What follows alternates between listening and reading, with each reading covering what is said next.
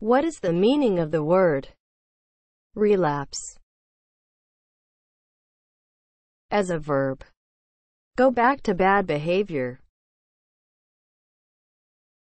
Relapse is spelled R E L A P S E.